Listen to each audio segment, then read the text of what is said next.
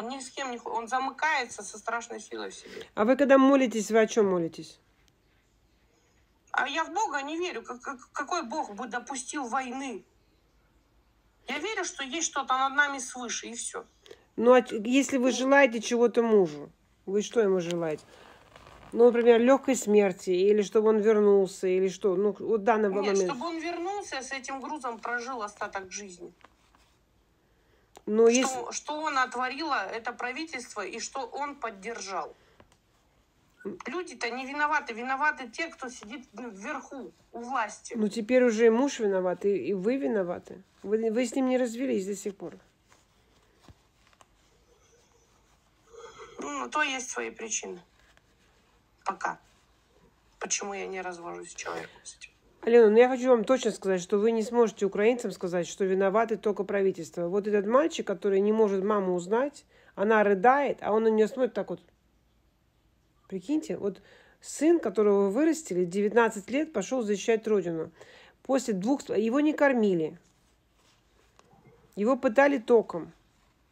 Я сегодня видела, как в, в, в Санкт-Петербурге а, какого-то мужчины, который оскорблял русских, ну, то есть он что-то говорил про войну. Как вы говорите, у нас свободы слова нет. Э, э, как это, ФСБ или кто там, полиция, ОМОН.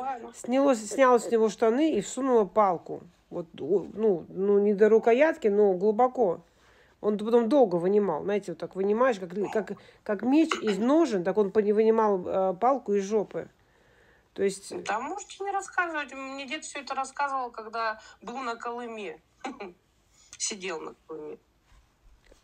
А что, в него в, в, на Колыме палками? Ну, про палки я, я не знаю такого, а. наверное, не было. Ну, пытали. Пытали. Всех пытали. Всех подряд. Мучили, издевались, истязали. Ну так вот, этого, этого ребенка ее, этого, этой женщины, я не знаю, было ли насилие сексуальное, я, я, он же не... Но то, что он не узнает мать, и не, не вменяемый, не, не испытывает эмоций, не разговаривает, это факт. Так что вы не можете в эфире или когда-либо вот в украинский, украинском чате сказать, что жители ни при чем. Вы несете самую-самую, что ни на есть ответственность. Мирные жители, вот мирные жители, те, которые не вышли, дагестанские женщины же вышли, вы видели, да? Дагестанские женщины вышли на такие протесты, мама не горюй. А вы побежали в это время прицениваться, сколько стоит бронежилет, понимаете? Я, я понимаю, что вам нужно сказать максимально то, что ну, вас объяснит вашу ситуацию. Э, я понимаю, но если вы были на месте этой женщины, а вы могли бы быть, если бы вас не депортировал Сталин, и ваш бы сын или ваш муж сейчас воевал на стороне Украины. Ваш, ваш муж мог просто перейти на сторону Украины. Там воюют а, ну, в РДК, может быть, даже этнические украинцы. Ваш муж мог Конечно. сдаться в плен, хочу жить. Вы могли бы уехать с ним в Казахстан. Вы могли бы просто переехать в другое место. Вы могли бы с ним развестись, забрать ребенка, уехать, ну, как политическое убежище. У меня приходила женщина, нет, точнее, девочка, подросток, э, может быть, не подросток, может быть, ей 19 лет было. Она сказала, что ушел на СВО, мама развелась с ним тут же. И она, когда он только выходил, она ему не покупала некую броник. И когда он выходил, он сказал, что я с тобой развожусь. И девочка сказала, что ты мне не отец. Он уходил, он это знал. Он начал звонить, и они трубку не, не брали. Они им сказали, мы все равно, умрет он, не умрет. Я говорю, если умрет, кто получит деньги? Мне надо насрать. Они уехали из страны. По-моему, они живут, по-моему, либо в Нидерландах, либо в Норвегии. Она, она отказалась от отца, представляете? Отказалась от отца. Ему сказала. Мне сказала, эфиру сказала. Женщина развелась. Это вот не потому, что он ее бросил, не потому, что он не любит ее, не потому, что была другая женщина. Они из-за этого СВО развелись. Но они не ждали 4 ваке, как это, отпуска, понимаете? Вы, вы опоздали в своих правильных решениях. Вы их вообще даже не сделали. Вы сказали, я разведусь. Но вы пока, пока он приезжает, и вы даже не знаете, что он делает, вы же его ласкаете, кормите, заботитесь о нем, понимаете? Он от вас получает подпитку, что у него есть родина, и он вас защищает. Вот если ну, вы у него... Вот именно, что я его поддерживаю в том, что ему было куда вернуться домой. Вы я ему даете ту, как знаете, когда человек улетает, да. а потом падает. Если, э, ну, грубо говоря, знаете, девушка говорит, я закрою глаза, а вы, ты меня лови, стоит парень, да? Если он отойдет, она же разобьется, правда? Вот он, па он падает на вас.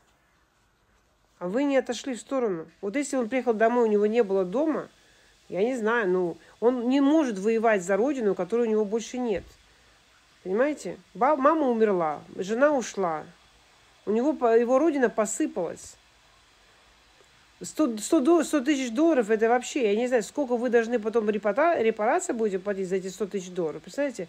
Эти доллары можно было отдать ЗСУ, чтобы они быстрее победили. Это, ну, это ваша настоящая родина сейчас в, в опасности. Она, она воюет. Ваша настоящая родина. Не та родина, куда вас послал Сталин, а ваша настоящая родина. У вас должна была быть такая патриотическая, что вы могли вообще взять и переехать жить в Украину. Помочь им. Столько этнических украинцев вернулось в Украину, вы себе не представляете. Я знаю, что люди некоторые съебались. Сегодня приходил мальчик Ярослав. Сидит с москвичом и рассказывает, что якобы... У вас телефон садится, да? Нет, смс пришла, извините. Рассказывает, что якобы ЗСУ сказали выйти из подвала и куда-то якобы грубо сказали. Ну, я и сказала, вы что, ебанулись? Из-за из какой-то грубости вы продали родину. Вот. Тем более, я не знаю, как, как во время войны, там что, пожалуйста, говорить, я не знаю, как. Ну, короче, я, я даже не стала слушать. Просто я говорю, вы, вы, вы, вы свою родину не приобрели в России. А ту, которая у вас была, вы ее сейчас не чувствуете. Если бы вы ее чувствовали, вы бы не платили деньги за броник. Вы что-то еще хотели сказать? Я... Нет, все. Хорошо, спасибо. Спасибо за беседу. Всего доброго. Спасибо. Ташка.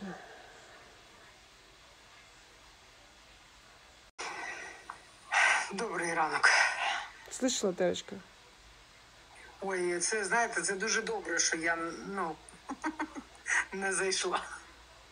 Ну, у... Бо знаєте, якщо чесно, ні, я все розумію. Там можна аналізувати все, що вона сказала. Ну просто було таке, знаєте, таке відчуття, що вона зайшла, щоб ми її поспівчували. Я, блядь, я б зараз їй сказала стільки, але не буду, не буду зараз забирати етер. Ну ви мене зрозуміли. Ніякого співчуття. Ні, от чесно, я хочу, щоб її чоловік здох. Бронік вона йому купила, каску, снайпери працюють добре. Может быть, она, может быть, она и не против. Может быть, даже она не против, но ее участие уже произошло на четыре раза. Он на нее упал, и она сказала, я твоя жена, ты защищаешь меня. Вот так вот ее бихи. Не, а оця фраза ми нічого не можемо зробити. Так ви ж, сука, за нього голосували. Ви ж розказуєте, що він у вас цар землі. Ви вибрали цього виблядка, який роз 20 років воює з усіма сусідами, які тільки існують. Ви підтримуєте. І така нещасна, така біднесенька. Бля, все не хочу, чесно. Зараз мене понесе. Все, пробачте. Я з вами продовжуємо.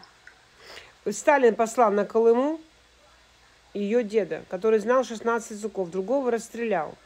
И вот, грубо говоря, вот внука, да, этого деда, он послал убивать украинцев. И она не спрашивает, что он там делает, она, я не знаю, что она, угрожает ему разводом, стукнула, стук, дала, ну, ударила она его хоть, хоть раз за то, что он сделал. Вот она подошла ему, врезала по лицу. Врезала она йому по, по лицу. Вона йому бронік купила, бронік щоб біднесенький пішов вбивати в Україну і не загинув. Понімаєте? Вона не відмовляла його. Я думаю, що це таке. Ну він сам вибрав це його.